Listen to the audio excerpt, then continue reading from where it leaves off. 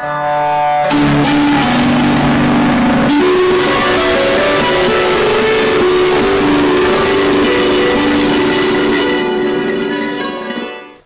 ಲೋಕೇಶಪ್ಪ ಅಂತ.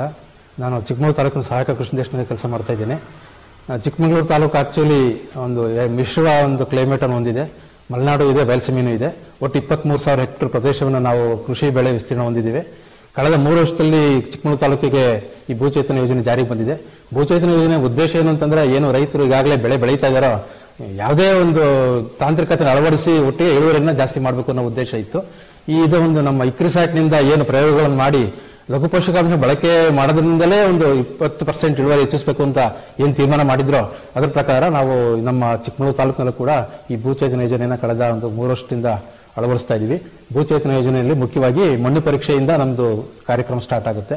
ನಮ್ಮ ಎಲ್ಲ ಇಡೀ ತಾಲೂಕಿನಲ್ಲಿ ಸ್ಯಾಮ್ ರ್ಯಾಂಡಮ್ ಮೆಥಡ್ನಲ್ಲಿ ನಾವು ಮಣ್ಣು ಮಾದರಿ ಪರೀಕ್ಷೆ ಮಾಡಿಸಿ, ವಿಶ್ಲೇಷಣೆ ಆಧಾರದ ಮೇಲೆ ಜಿಪ್ಸಮ್ಮು ಜಿಂಕ್ ಸಲ್ಫೇಟು ಬೊರಾಕ್ಸ್ಗಳನ್ನು ಕೊಡ್ತಾ ಇದ್ದೀವಿ ಒಂದು ಎಕರೆಗೆ ನೂರು ಕೆ ಜಿ ಜಿಪ್ಸಮ್ಮು ಹತ್ತು ಕೆ ಜಿ ಜಿಂಕ್ ಸಲ್ಫೇಟು, ಎರಡು ಕೆ ಜಿ ಬೋರಾಕ್ಸ್ಗಳನ್ನು ರಿಯಾಯಿತಿ ದರದಲ್ಲಿ ಕೊಡ್ತಾ ಇದ್ದೀವಿ. ರೈತರಿಂದ ಇದರಿಂದ ತುಂಬಾ ಉತ್ತೇಜನಗೊಂಡಿದ್ದಾರೆ. ಎಲ್ಲ ಬೆಳೆಗಳಿಗೂ ಕೂಡ ಆಗ್ತಾ ಇದ್ದಾರೆ. ಈಗಾಗಲೇ ಮಣ್ಣು ಪರೀಕ್ಷೆ ಆಧಾರದ ಶೀಟ್ಗಳನ್ನು ಅವರಿಗೆ ಕೊಟ್ಟಿದ್ದೀವಿ. ಅದರ ಒಂದು ವಿಶ್ಲೇಷಣೆ ಆಧಾರದ ಮೇಲೆ ಎಲ್ಲ ಮಾಡ್ತಾ ಇದ್ದಾರೆ.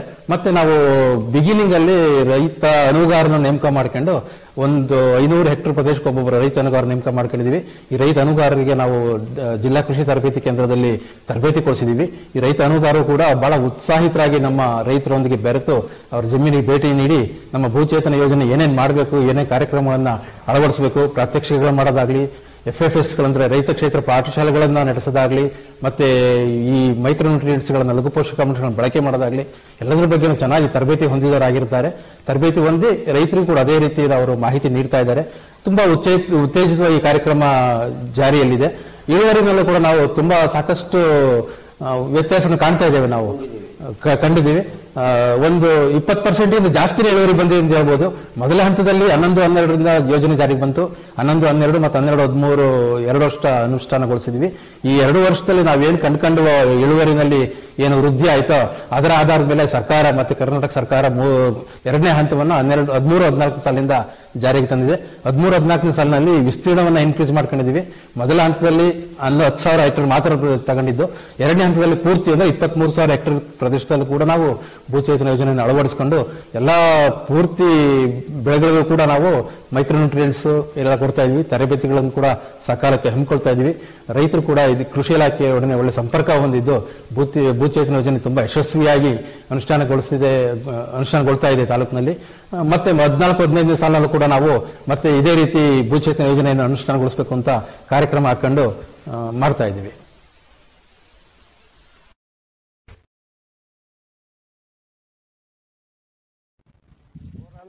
ಬೋರಾನ್ ಮತ್ತು ಜಿಂಕನ್ನ ಪ್ರತಿಯೊಬ್ಬ ರೈತರು ಸಹ ಬೆಳೆಸ, ಹಾಕೋದ್ರಿಂದ ಪ್ರತಿಯೊಬ್ಬರಿಗೂ ಲಾಭ ಆದಷ್ಟು ಎಲ್ಲಾ ಬೆಳೆಗೂ ಸಹ ಹಾಕ್ಬೇಕಾಗ್ತದೆ. ಯಾಕೆಂದ್ರೆ ಇವಾಗ ರಾಸಾಯನಿಕ ಗೊಬ್ಬರನ ಹೆಚ್ಚು ಹಾಕಿ ಹಾಕಿ, ಅದರಲ್ಲಿ ಕೇವಲ ರಸ, ಈ ರಸಗೊಬ್ಬರಗಳು ಏನು ಸಾರ್ವಜನಿಕ ರಂಜಕ ಪೊಟಾಶ್ ಮಾತ್ರ ಹಾಕಿ ಭೂಮಿನಲ್ಲಿ ಬೇರೆ ವಸ್ತುಗಳ ಕೊರತೆ ಕಮ್ಮಿ ಕಮ್ಮಿ ಆಗಿರೋದ್ರಿಂದ ಈ ಈ ಲಘು ಪೋಷಕಾಂಶಗಳನ್ನ ಹಾಕೋದ್ರಿಂದ ಹೆಚ್ಚು ಇಳು ಇಳುವರಿ ಬರುತ್ತೆ ಮತ್ತೆ ರೋಗ ಮುಕ್ತವಾಗಿ ಇದ್ದಂತ ಬೆಳೆ ಬರ್ತವೆ. ಪ್ರತಿಯೊಬ್ಬರು ಹಾಕೋದ್ರಿಂದ ಒಳ್ಳೇದಾಗುತ್ತೆ. ನಾವು ಹಾಕಿದೀವಿ ನಮಗೆ ಅನುಕೂಲ ಆಗಿದೆ. ನೀವು ಸಹ ಹಾಕಿ ಒಳ್ಳೆಯ ಬೆಳೆಯನ್ನ ಬೆಳೆಯಿರಿ ಅಂತ ಕೇಳ್ಕೊಂತೀವಿ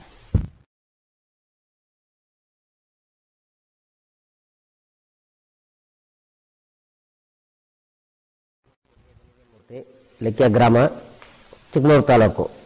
ನಾವು ತರಕಾರಿ ಬೆಳೆಯನ್ನು ಹೆಚ್ಚಿಗೆ ಬೆಳೆಯೋದು. ಟೊಮೊಟೊ, ಕೋಸು ಮೆಣಸು ಇಷ್ಟೆಲ್ಲ ಬೆಳಿತೀವಿ. ಈ ಎರಡು ವರ್ಷದಿಂದ ಹೆಚ್ಚಿಗೆ ಇಳುವರಿ ಬರ್ತಿರಲಿಲ್ಲ. ಈ ಕೃಷಿ ಇಲಾಖೆಯವರು ಬಂದು ನಮಗೆ ಜಮೀನ ಹತ್ರಲ್ಲೇ ಮಣ್ಣು ಪರೀಕ್ಷೆ ಎಲ್ಲ ಮಾಡಿಸಿ, ಅದನ್ನು ಇಲಾಖೆಯಲ್ಲಿ ನೋಡಿ, ಇದಕ್ಕೇನು ಬಳಸಬೇಕು ನಮ್ಮ ಏರಿಯಾಕ್ಕೆ? ನಮ್ದು ಬರಡು ಭೂಮಿ, ಹೆಚ್ಚಿಗೆ. ನೀರಿನ ಅಂಶ ಜಾ ಕಮ್ಮಿ ಇದೆ. ಹಾಗಾಗಿ ಅವರು ಏನು ಬೆಳೆಸ್ಬೇಕಿದ್ಕೆ ಅಂತೆಲ್ಲ ಟೆಸ್ಟ್ ಮಾಡಿ ಮಣ್ಣನ್ನು ನಮಗೆಲ್ಲ ಹೇಳ್ಕೊಟ್ರು. ಅದು ಜಿಂಕು ಬೋರೆಕ್ಸು ಇದನ್ನೆಲ್ಲ ನಮ್ಮ ದನಿನ ಕೊಟ್ಟಿಗೆ ಗೊಬ್ಬರ ಜೊತೆ ಮಿಕ್ಸ್ ಮಾಡಿ ಅದನ್ನೆಲ್ಲ ಹೊಲಕ್ಕೆ ಚೆಲ್ಲಿ ನಾವು ಅದಕ್ಕೆ ಹದ ಮಾಡಿ, ಆಮೇಲೆ ಪೈರು ಉತ್ಪಾದನೆ ಪೈರನ್ನ ನಾಟಿ ಮಾಡಿ, ಹಿಂದೆ ಬೆಳೀತಿದ್ದಲ್ಲ ಆ ಇದಕ್ಕೂ ಈಗ ಅದಕ್ಕಾಗಿ ಅಂದರೆ ನಮಗೂ ಸ್ವಲ್ಪ ವ್ಯತ್ಯಾಸ ಕಂಡಿದೆ. ಹಂಗಾಗಿ ಹಿಂದೆ ನಾವು ಒಂದು ಐದು ಸಾವಿರ ಹೂಕೋಸು ಹಸು ನೋಟ್ರೆ ಒಂದು ಇನ್ನೂರು ಪ್ಯಾಕೆಟ್ ಚೀಲ ಚೀಲ ಅಂತ ಇನ್ನೂರು ಸಣ್ಣ ಚೀಲದಲ್ಲಿ ಇನ್ನೂರು ಚೀಲ ಕುಯ್ತಿದ್ದು. ಇದನ್ನೆಲ್ಲ ಬಳಸಿದ ಮೇಲೆ ಒಂದು ಒಂದು ನಲವತ್ತು ಚೀಲ, ಐವತ್ತು ಚೀಲ ರೋಜಾ ಇದೆ ಆ ರೀತಿ ಮಾಡ್ತಾ ಇದೀವಿ ನಾವು. ಮೆಣಸು ಅಷ್ಟೇ. ಇಂದಿನ ಇದಕ್ಕೂ ಇನ್ನೂ ಸ್ವಲ್ಪ ಉತ್ಪಾದನೆ ಜಾಸ್ತಿ ಆಯಿತು ನಮಗೆ. ಇದನ್ನು ಮೇಲೆ ಬಳಸಿದ್ರೆ ಉತ್ಪ ಇನ್ನೂ ಹೆಚ್ಚಿಗೆ ನಾವು ರೈತರಿಗೆ ಹೇಳಿ, ಅಕ್ಕಪಕ್ಕದ ರೈತರಿಗೆ ಹೇಳಿ, ಇದನ್ನು ಬೆಳೆಯೋಕ್ಕೆ, ಬಳಕೆ ಮಾಡೋಕ್ಕೆ ನಾವು ಪ್ರೋತ್ಸಾಹ ಕೊಡಬೇಕು ಅಂತ ಹೇಳ್ತಾ ಹೇಳ್ತಾ ಇದ್ದೀನಿ. ನನ್ನ ಹೆಸರು ಚಂದ್ರಮತಿ ಬೊಮ್ಮೇಗೌಡ ಅಂತ ಹೇಳಿ. ನಾನು ಗಾಣದಾಳಿಂದ ಮಾತಾಡ್ತಾ ಇದ್ದೀನಿ ಈಗ. ನಾನು ಈ ಭೂಚೇತನ ಕಾರ್ಯಕ್ರಮದಡಿಯಲ್ಲಿ ಕೆಲವಾರು ಉಪಯೋಗಗಳನ್ನು ನಮ್ಮ ಜಮೀನಿನಿಗೆ ತರಕಾರಿ ಬೆಳೆಗಾಗಲಿ, ತೋಟದ ಬೆಳೆಗಾಗಲಿ, ಹಲವಾರು ರೀತಿಯಲ್ಲಿ ನಾನು ಅದರದ ಉಪಯೋಗದ ಮತ್ತು ಮಾಹಿತಿಯನ್ನು ಪಡೆದು ಅದರಿಂದ ಹಲವಾರು ರೀತಿಯಲ್ಲಿ ನಾನು ಸದುಪಯೋಗ ಪಡಿಸ್ಕೊಂಡು, ಅದರ ಫಲಿತಾಂಶ ಮತ್ತು ಪರಿಣಾಮ ತುಂಬ ಚೆನ್ನಾಗಿ ನನಗಾಗಿದೆ. ಅದು ಹೇಗೆ ಅಂತಂತಂದರೆ ಈ ಭೂಚೇತನದಡಿಯಲ್ಲಿ ನಮಗೆ ಈ ಕೃಷಿ ಇಲಾಖೆಯಿಂದ ಅದಕ್ಕೆ ಭೂಚೇತನ ಕಾರ್ಯಕ್ರಮಕ್ಕೆ ತೆಗೆದುಕೊಂಡಿರುವಂತಹ ವ್ಯಕ್ತಿಗಳನ್ನ ನಾವು ಸಂಪರ್ಕಿಸಿದಾಗ ಅವರು ಈಗ ಒಂದು ತರಕಾರಿಲಿ ಉದಾಹರಣೆಗೆ ಟೊಮೊಟೊ ಆಗಲಿ ಅಥವಾ ಬೀನ್ಸ್ ಆಗಲಿ, ಅದಕ್ಕೆ ಹಳದಿ ರೋಗಗಳು, ಕಪ್ಪು ಚಿಕ್ಕೆ ರೋಗ ಇದೆಲ್ಲ ಬರ್ತಾ ಇತ್ತು. ಇದು ಯಾಕೆ ಬರುತ್ತೆ ಅಂತ ನಾನು ಕೇಳಿದಾಗ, ನೋಡಮ್ಮ, ಈ ಥರ ಮಣ್ಣಲ್ಲಿ ತುಂಬ ಅಂಶಗಳು, ಲಘು ಪೋಷಕಾಂಶಗಳ ಕೊರತೆ ಇದೆ. ಅದು ರೋಗಗಳು ಅದರಿಂದ ಅಟ್ಯಾಚ್ ಆಗುತ್ತೆ. ಈ ಗೊಬ್ಬರಗಳನ್ನು ನೀವು ಬಳಸಿದ್ದೇ ಆದರೆ ಅದರಿಂದ ಸ್ವಲ್ಪ ರೋಗಗಳು ಕಡಿಮೆ ಆಗುತ್ತೆ ಅಂತೇಳಿ ಈ ಜಿಂಕು, ಬೋರಾನು ಮತ್ತು ಜಿಪ್ಸಮ್, ಗೊಬ್ಬರಗಳ ಬಳಕೆಗೆ ನಮಗೆ ಮಾಹಿತಿನ ಒದಗಿಸ್ಕೊಟ್ರು. ಅದನ್ನ ಎಕರೆಗೆ ನಾವು ಎರಡು ಜಿಪ್ಸಮ್, ಜಿಂಕನ್ನು ಐದು ಕೆ ಜಿ ಹಂಗೆ ಜಿಪ್ಸ ಬೋರಾನನ್ನು ಎರಡು ಕೆ ಜಿ ಹಂಗೆ ಜಿಪ್ಸಮನ್ನು ಮೂರು ಚೀಲ ಐವತ್ತು ಕೆ ಜಿ ಪ್ಯಾಕಲ್ಲಿ ಅದನ್ನು ತಗೊಂಡ್ಬಿಟ್ಟು ಅದನ್ನು ಎಕರೆಗೆ ನಾವು ಈ ತರಕಾರಿ ಬೆಳೆಗೆ ಬಳಸಿದಾಗ ಸ್ವಲ್ಪ ಉತ್ತಮ ಮಟ್ಟದಲ್ಲಿ ಈಗ ಕಡಿಮೆ ಆಗಿದೆ. ತುಂಬಾನೇ ತು- ಸಂಪೂರ್ಣವಾಗಿ ಕ್ಲಿಯರ್ ಆಗದೆ ಇದ್ರು ಮುಕ್ಕಾಲು ಭಾಗ ನಮಗೆ ಅದ್ರ ರೋಗ ಹತೋಟಿಗೆ ಬಂದ್ಬಿಟ್ಟು ಒಳ್ಳೆ ಇಳುವರಿ ಆಗಲಿ ಅಥವಾ ಒಂದು ಭೂಮಿಯ ಫಲವತ್ತತೆ ಆಗಲಿ ಮತ್ತೆ ನೆಕ್ಸ್ಟ್ ಅದನ್ನ ಭೂಮಿ ಮಣ್ಣನ್ನು ನಾವು ಪರೀಕ್ಷೆ ಮಾಡಿಸಿದಾಗ ಆ ಫಲವತ್ತತೆ ಹೆಚ್ಚಾಗಿರೋದು ಅದ್ರ ಮುಖಾಂತರ ನಮಗೆ ಬಸವರಾಜು ಲಕ್ಕುಮ್ನಹಳ್ಳಿ ಲಕ್ಕೆ ಹೋಬಳಿ ಚಿಕ್ಕಮಗಳೂರು ತಾಲೂಕು ಚಿಕ್ಕಮಗಳೂರು ಡಿಸ್ಟಿಕ್ ನಮಗೆ ನಾಲ್ಕು ಎಕರೆ ಹದಿನೇಳು ಗುಂಟೆ ಜಮೀನಿದೆ ನಾವು ಅದರಲ್ಲಿ ಮಳೆಗಾಲದ ಬೆಳೆ ಬೆಳೀತಾ ಇದ್ದೀವಿ. ಮೆಕ್ಕೆಜೋಳ ರಾಗಿ ಬೆಳೀತಾ ಇದ್ದೀವಿ. ಈ ವರ್ಷ ರಾಗಿ ಜೋಳ ಬೆಳೆದಿದ್ದೀವಿ. ಆಮೇಲೆ ವರ್ಷ ವರ್ಷ ಬೆಳೆಯೋದಕ್ಕೂ ಈ ವರ್ಷಕ್ಕೂ ಭಾರಿ ವ್ಯತ್ಯಾಸ ಆಗಿದೆ. ನಮ್ಮ ಕೃಷಿ ಇಲಾಖೆಯಿಂದ ಬೀಜ ತಾಣಕ್ಕೆ ಹೋದಾಗ ಇವ್ರು ಈ ಥರಕ್ಕೆ ಎಲ್ಲ ಮಾಡ್ರಿ ಅಂತೇಳಿ ಅವರು ನಮಗೆ ಜಿಪ್ಸಮ್ಮು ಬೋರಾಕ್ಸು, ಬೋ, ಜಿಂಕು ಎಲ್ಲ ಕೊಟ್ಟು ಇದೇ ಟೈಪ್ ಮಾಡ್ರಿ ಅಂತೇಳಿ ಎಲ್ಲ ಹೇಳಿ ಭೂಮಿಗೆಲ್ಲ ಮುಂಚೆಗೆ ಚೆಲ್ಲಿ ಕುಂಟೆ ಹೊಡೆದು ಆಮೇಲೆ ಬೀಜ ಹಾಕಿ, ಬೀಜ ಹಾಕಿದ್ಮೇಲೆ ಈ ವರ್ಷ ಒಳ್ಳೆ ಬೆಳೆನೂ ಬಂದಿದೆ, ಕಾಳುನೂ ಚೆನ್ನಾಗಿ ಒಳ್ಳೆ ಇಳುವರಿನೂ ಬಂದಿದೆ, ಕಾಳು ಚೆನ್ನಾಗಿ ಬಂದಿದ್ದಾವೆ ಅದು ಹೋದ ವರ್ಷಕ್ಕೂ ಈ ವರ್ಷಕ್ಕೂ ಐದೈದು ಕ್ವಿಂಟಲ್ ಜಾಸ್ತಿ ಬಂದಿದೆ. ಹೋದ ವರ್ಷ ಹದಿನೈದು ಕ್ವಿಂಟಲ್ ಬೆಳೆದಿದ್ದು, ಈ ವರ್ಷ ಇಪ್ಪತ್ತು ಕ್ವಿಂಟಲ್ ಬೆಳೆದಿದ್ದೀವಿ. ರಾಗಿನೂ ಅಷ್ಟೇ ಒಂದು ಒಂದು ಎಕರೆಗೆ ಮಾಡಿದ್ದಕ್ಕೂ ಬೇರೆ ಒಂದು ಸ್ವಲ್ಪ ಬೇರೆ ರೀತಿ ಮಾಡಿದ್ಕೋ, ಅದಕ್ಕೆ ಏನೋ ಜಿಂಕು ಸಲ್ಫೇಟ್ ಏನು ಹಾಕಿರಲಿಲ್ಲ. ಅದಕ್ಕೂ ಇದಕ್ಕೂ ನೋಡಿದರೆ ಅದರಲ್ಲಿ ಬೆಳವಣಿಗೆ ಜನ ಬಂತು, ಇದರಲ್ಲಿ ಬೆಳವಣಿಗೆ ಸ್ವಲ್ಪ ಕಮ್ಮಿ ಬಂತು. ರಾಗಿ ಕಾಳು ಸ್ವಲ್ಪ ಉತ್ಕೃಷ್ಟಾಗಿ ಚೆನ್ನಾಗಿ ದೃಢವಾಗಿ ಬಂದಿದ್ದಾವೆ ರಾಗಿನೂ ಚೆನ್ನಾಗಿ ಬೆಳೆದಿದ್ದೀವಿ. ಅದಕ್ಕೆ ಹೋಲಿಸಿದ್ರೆ ಈಗ ಹೋದ ಮುಂಚೆ ಮಾಡೋದಕ್ಕೂ ಈಗ ಈಗ ಮಾಡಿರೋದಕ್ಕೂ ಭಾರಿ ವ್ಯತ್ಯಾಸ ಕಾಣ್ತಾ ಐತೆ. ಅದರಿಂದ ಈಗ ನಮಗೆ ಅನುಗಾರರಿದ್ದಾರೆ ನಮ್ಮೂರಲ್ಲೇ. ಅವರೆಲ್ಲ ಹೇಳಿ ಇದು ಟೈಪ್ ಮಾಡಬೇಕು ಅಂತೇಳಿ, ಹೊಲಕ್ಕೆಲ್ಲ ಅವರೇ ಬಂದು ತೋರಿಸಿ ಎಲ್ಲ ಹೇಳಿ ಮಾಡಿಸಿದ್ರು. ನಾವು ಅದೇ ಟೈಪ್ ಮಾಡಿದ್ದೀವಿ. ಬೆಳೆನೂ ಚೆನ್ನಾಗಿ ಬಂದಿದೆ ಇಳುವರಿನೂ ಒಂದು ಸ್ವಲ್ಪ ನನ್ನ ಹೆಸರು ಚೆನ್ನಾಗಿದೆ. ಸಿದ್ದೇಗೌಡ ಹಳೆ ಲೆಕ್ಕ ಲೆಕ್ಕ ಹೋಬಳಿ ಚಿಕ್ಕಮೂರು ತಾಲೂಕು ಚಿಕ್ಕಮೂರು ಜಿಲ್ಲೆ. ನಾವು ಪ್ರತಿ ವರ್ಷ ಶೇಂಗಾ ಬೆಳೆಯನ್ನ ಕಂಟಿನ್ಯೂ ಆಗಿ ಬೆಳೆಯನ್ನು ಬೆಳ್ಕೊಂಡು ಬರ್ತಾ ಇದ್ವಿ. ಒಂದು ವರ್ಷ ಬಿಡದಾಗೆ ಪ್ರತಿ ವರ್ಷವೂ ನಾವು ಶೇಂಗಾವನ್ನ ಬೆಳ್ಕೊಂಡು ಬರ್ತಾ ಇದ್ವಿ. ಈಗ ಒಂದು ನಾಲ್ಕೈದು ವರ್ಷದ ಹಿಂದೆ ಬರೋ ಬೆಳೆಗೂ ಈಗಿನ ಒಂದು ಬೆಳೆಗೂ ಭಾರಿ ವ್ಯತ್ಯಾಸ ಇದೆ.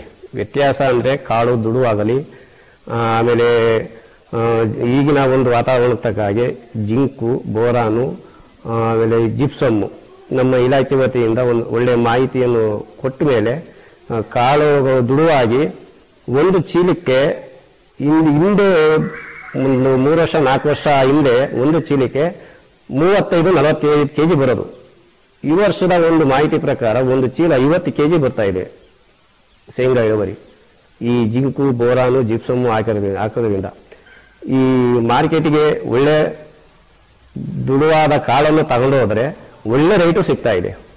ಈ ಜೇರುಂಡು ಪದಾರ್ಥ ಇದ್ದಂಥ ಒಂದು ಮಾಲಿಗೆ ಮಾರ್ಕೆಟಿಂಗ್ ಬೇರೆ ಒಳ್ಳೆಯ ಮನೆಗೂ ಮಾಲಿಗೂ ದುಡು, ದುಡುವಾದ ಮಾಲಿಗೂ ಜಳ್ಳಾದ ಮಲಗು ಸುಮಾರು ಎರಡೆರಡು ಸಾವಿರ ಡಿಫೆನ್ಸ್ ಇರುತ್ತೆ. ನನ್ನ ಹೆಸರು ದಯಾನಂದ ಕೆ ಸಿ ಕಳಸಾಪುರ. ಕಳಸಾಪುರದಲ್ಲಿ ವಾಸವಾಗಿದ್ದೀನಿ. ನಾನು ಸುಮಾರು ಒಂದು ಹತ್ತು ವರ್ಷಗಳಿಂದ ಹತ್ತಿ ಬೆಳೆನ ಬೆಳೀತಾ ಇದ್ದೀವಿ. ಈ ವರ್ಷನೂ ಸಹ ಒಂದು ಬ್ಯಾಗ್, ಹತ್ತಿ ಬ್ಯಾಗ್ ತಗೊಂಡು ಬೆಳೆ ಬೆಳೆದಿದೆ. ಅದರಲ್ಲಿ ಈ ಸತಿ ಜಿಂಕು ಮತ್ತು ಬೋರೆಕ್ಸ್ನ ಕೃಷಿ ಇಲಾಖೆಯವರು ನಮಗೆ ಕೊಟ್ಟಿದ್ರು ಈ ಸಲ. ಅದನ್ನು ಗೊಬ್ಬರ ಜೊತೆ ಮಿಕ್ಸ್ ಮಾಡಿ ಹಾಕ್ರಿ ಅಂತ ಹೇಳಿದ್ರು. ಅದೇ ಥರ ನಾವು ಮಿಕ್ಸ್ ಮಾಡಿ ಕೊಟ್ವಿ. ಜೊತೆ ಈ ಸತಿ ಏನಾಯ್ತು ಅಂದ್ರೆ ಮಳೆ ಬೇರೆ ಒಂದು ಅದ ಮಧ್ಯದಲ್ಲಿ ಜಿಟ್ಟೆ ಆಗೋ ಟೈಮಲ್ಲಿ ಜಿಟ್ಟೆ ಕಟ್ಟಿದಾಗ ಮಳೆ ಕಡಿಮೆ ಆಯಿತು. ಆದರೆ ಬೋರೆಕ್ಸ್, ಜಿಂಕ್ ಹಾಕಿದ್ರಿಂದ ಒಂದ್ ಸ್ವಲ್ಪ ತೇವಾಂಶನ ಹಿಡಿದಿಡ್ತು. ಹಂಗಾಗಿ ಈ ಸತಿ ನನಗೆ ಒಳ್ಳೆ ಇಳುವರಿ ಬಂತು. ಒಂದು ಒಂಬೈನೂರು ಕೆಜಿ, ಒಂದು ಬ್ಯಾಗಿಗೆ ಹತ್ತಿ ಬೆಳೆ ಬೆಳೆದ್ವಿ. ಎಲ್ಲ ರೈತರು ಇದೇ ತರ ಜಿಂಕು ಬೋರೆಕ್ಸ್ ಉಪಯೋಗಿಸಿದ್ರೆ ಬಹಳ ಅನುಕೂಲ ಆಗುತ್ತೆ. ನನ್ನ ಹೆಸರು ರಂಗಸ್ವಾಮಿ ಅಂತ, ಕಳಸಾಪುರ. ನನ್ನ ಜಮೀನು ಒಂದು ಮೂರು ಎಕರೆ ಇದೆ. ಮೂರು ಎಕರೆಯಲ್ಲಿ ಸೂರ್ಯಕಾಂತಿ ಮಾಡಿದ್ದೆ.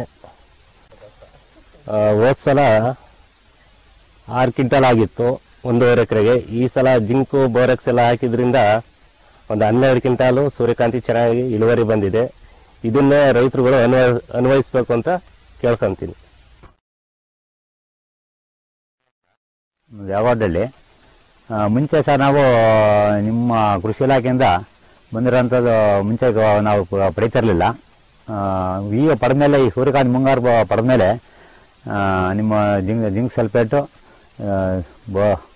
ಬೋರೆಕ್ಸ್ ಅದು, ಅದೆಲ್ಲ ಹಾಕಿದ ಸರ್, ಅವು ಭೂಮಿ ಉಳುಮೆ, ನಾಲ್ಕು ಮಕ ಉಳುಮೆ ಮಾಡಿ, ಮತ್ತೆ ಎರಡು ಮ, ನಾಲ್ಕು ಮಕ ದೊಡ್ಡ ಕುಂಟೆ ಹೊಡೆದಿದ್ದು ಸರ್. ಆಮೇಲೆ ಸೂರ್ಯಕಾಂತಿ ಒಂದೇ ಒಂದು ಪ್ಯಾಕೆಟ್ಟು ಗಂಗಾ ಕಾವೇರಿ ಕಿಂಗ್ ಹಾಕಿ ಸಹ ಹದಿನಾರಕ್ಕಿಂತಲೂ ಹದಿನಾರು ಸೂರ್ಯಕಾಂತಿ ಬೆಳೆದು ಸರ್. ಆಮೇಲೆ ಮುಂಚೆ ನಾವು ಸೂರ್ಯಕಾಂತಿ ಬೆಳೀತೀವಿ ಸರ್, ಆದರೆ ಈ ಬೆಳೆನ ಬೆಳೀತಲ್ಲ ಸರ್. ನಿಮ್ಮ ಕೃಷಿ ಇಲಾಖೆಯಿಂದ ತಗೊಂಡ್ಮೇಲೆ ನಾವು ಒಂದು ಪ್ಯಾಕೆಟಿಗೆ ಗಂಗಾ ಕಾವೇರಿ ಕಿಂಗ್ ಸೂರ್ಯಕಾಂತಿ ಬೀಜನ ಒಂದು ಪ್ಯಾಕೆಟ್ ಹದಿನಾರು ಕ್ವಿಂಟಲು ಸೂರ್ಯಕಾಂತಿ ಬೆಳೆದಿವಿ ಸರ್ ನಾವು. ಜಿಂಕ್ ಸಲ್ಫೇಟು ನಿಮ್ಮ ಕೃಷಿ ಇಲಾಖೆಯಿಂದ ಮೇಲೆ ಸಲ್ಫೇಟು ಇವು ಬೋರೆಕ್ಸು ಅವೆಲ್ಲ ಹಾಕಿದ ಮೇಲೆ ನಮ್ಮ ನಮ್ಮ ಈ ಥರ ಗೊಬ್ಬರ ಮಿಕ್ಸ್ ಮಾಡ್ಕೊಂಡು ಡಿ ಎ ಪಿ ಇಪ್ಪತ್ತಿಪ್ಪತ್ತು ಎರಡು ಮೂಟೆ, ನಾಲ್ಕು ಮೂಟೆ ಇಪ್ಪತ್ತಿಪ್ಪತ್ತು ಎರಡು ಮೂಟೆ ಡಿ ಎ ಪಿ ಒಂದು ಮೂಟೆ ಪಟಾಸು ಒಂದು ಮೂಟೆ ಹೀರೋಸ ಅದ್ರ ಜೊತೆ ಕಳೆ, ಉತ್ತಮ ಒಳ್ಳೆ ಕಳೆ ಕಿತ್ತು ಹತ್ತು ಬೇಸನ ಉತ್ತಮ